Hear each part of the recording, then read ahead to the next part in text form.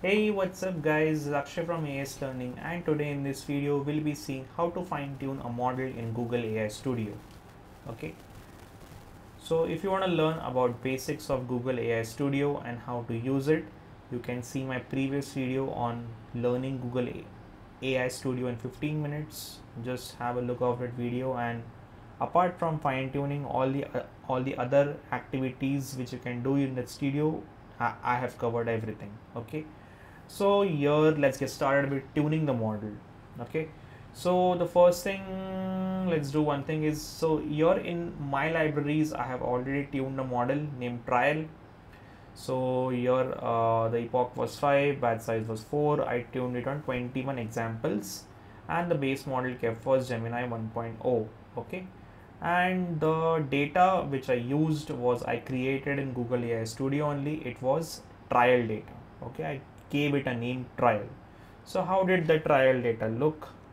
This was how the trial data appeared. So it was just some input and some output examples which I wanted my model to learn. It's entire garbage right now okay? But we'll see how it learns okay? So you, you you can either enter your entries from year one on on but that is not possible every time. So you can do a import of csv also so from where to do the import you need to go to new tuned model once you are on new tuned model you can click on import and up and upload your csv or you can uh, uh, select some exist, uh, uh existing prompt so here I've selected trial. As you can see, I have got the trial data preview. I'll give it a name. Uh, today is 19, so 19 trial, kept the description empty.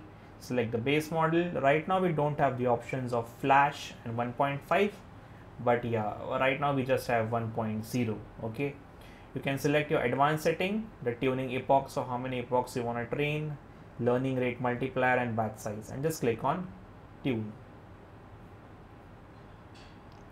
So once you have clicked on tune, the model is now started to tune. It is hyper tuning and in your logs you can see that 19 trial is in the queue. The type is tune model and it is in progress. Okay. So you can end the tuning early also. It takes just one minute so it should not take much time and uh, we should be okay with it very soon yes so as you see that the model is tuned now let's say if I want to test it whether it is running proper or not I can just click it here and I'll be getting the details of the model for how many epochs, batch size and other basic things and let's say I want to test it.